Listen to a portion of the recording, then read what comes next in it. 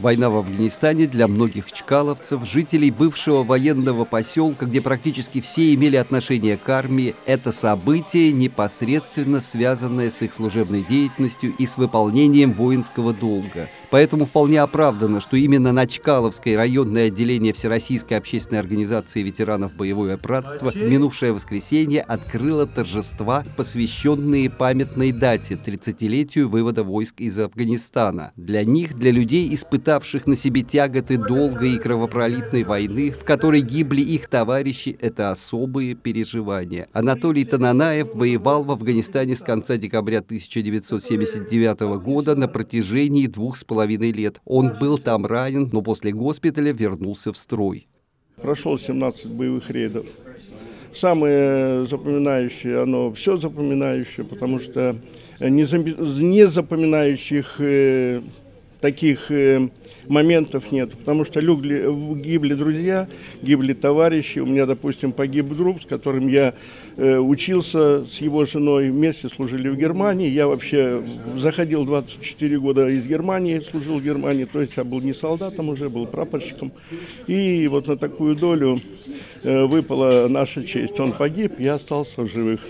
А для военного летчика полковника Геннадия Бузова в памяти навсегда остался момент, когда он был, что называется, на волосок от гибели. Памятно было тогда, когда меня сбили просто. Вот это мне осталось в памяти, как говорится.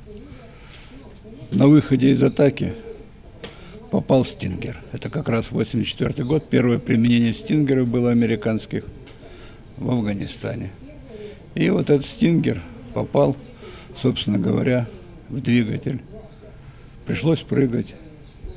Ну и как потом наша разведка говорила, что если бы я приземлился 500 метров южнее или 500 метров севернее, меня можно было уже не искать. У каждого из военнослужащих своя судьба и свой счет к жизни и к смерти, между которыми порой приходилось находиться подолгу, привыкая к опасности и к необходимости действовать в любой ситуации так, как полагается, как диктует честь офицера.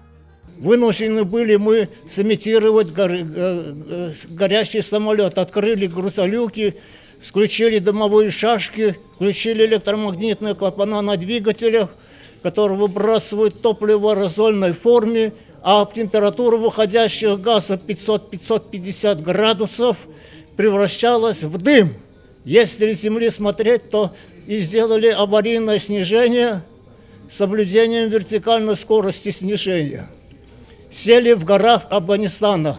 Торжественное собрание во Дворце культуры на Чкаловской, посвященное 30-летию вывода войск из Афганистана, это только начало целого ряда мероприятий, которые пройдут на Щелковской земле и будут посвящены этому событию. В его ознаменовании выпущена и памятная медаль. В это воскресенье здесь, во Дворце культуры на Чкаловской, ею наградили ветеранов афганцев. Андрей Цеханович, Сергей Василевский, телерадиокомпания «Щелково».